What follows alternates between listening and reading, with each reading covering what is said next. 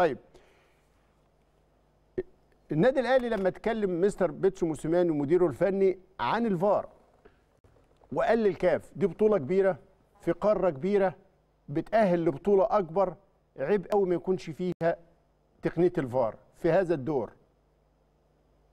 رد الكاف وما ردش على حد قبل كده لكن رد على مستر بيتسو موسيماني. فاتكلم المدير الفني للأهلي بعد الفوز على المريخ عن نفس الأزمة نسمعه أكتر فرقة في أفريقيا عندنا ماتشات أكتر من أي فريق تاني But, the, كثافة مباريات but this match was a game of character, الماتش ده بيعتمد على شخصية and, شخصيه الفريق and the players respected the badge, إن أنت تحترم شعار النادي and we fought. We fought for the game. وبعدين حالنا في الماتش وعرفنا ناخده I will still say it. We need VAR.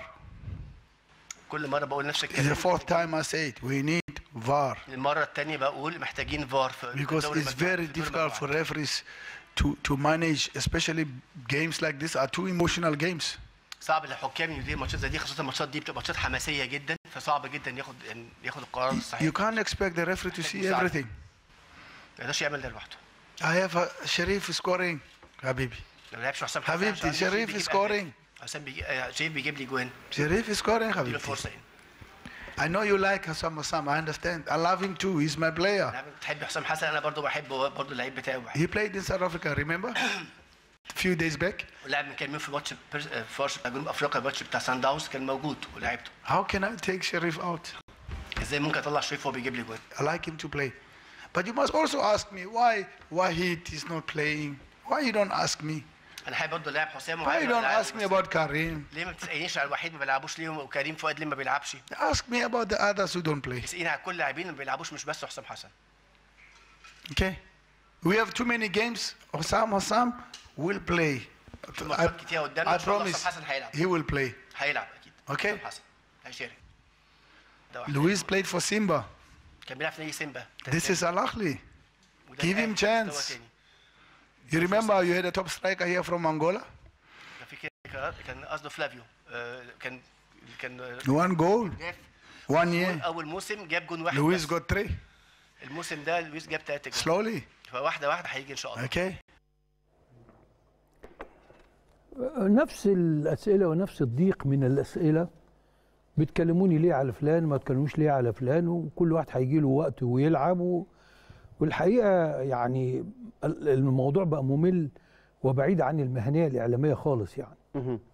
لكن يعني أنا كنت وجهت نصيحة بس هو يا ريته يفكر إنه ما يردش. بدل ما يرد وهو متضايق فبيغزوه أكتر.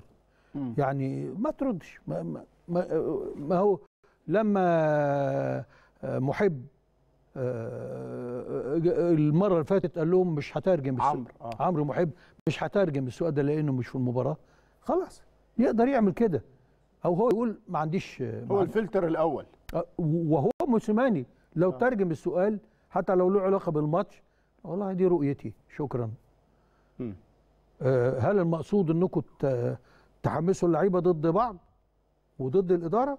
أنا ما عنديش إجابة. الاجابه بيعرفها اللعيبة في في التمرين يقدر يرد. بس هو بيتجرجر في الحتة دي ساعات. آه، مسألة إن الفار آه طبعا ما فيش ماتش الاهلي دلوقتي. إلا ما كان يبقى فيه قرارات غريبة. ما فيش ماتش ما فيش ضربة جزاء.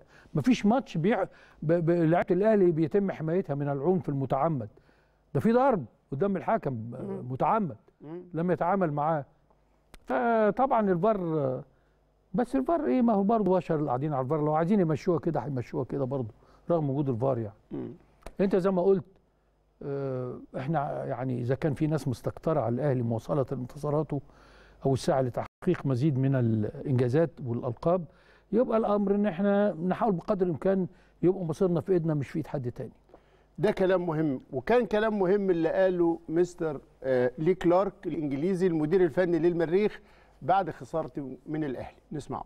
طبعا بتلعب الأهلي في أي ظرف في أي مكان. أنت بتلعب فرقة قوية ال- تالت كأس العالم للأندية آه، بطل النسخة الماضية. الماتشات بتبقى صعبة جدا. أنت بتلعب النادي الأهلي. مدرب رائع شخصية وفنية كل حاجة رائعة من عندهم.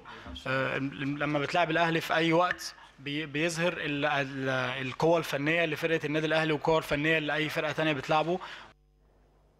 كلام آه، فيه شجاعة وفيه إنصاف وفيه رقي. وبعدين إن في مدرب يشيد بفكر وكفاءة المدرب المنافس اللي غلبه ويسميه مدرب رائع ويسميه عندهم إمكانيات آه، هو ده هو ده أحسن حاجة ممكن تحصل عليها أن تحصل على الاحترام. أنت مش بتكسب وبس يا أستاذ إبراهيم.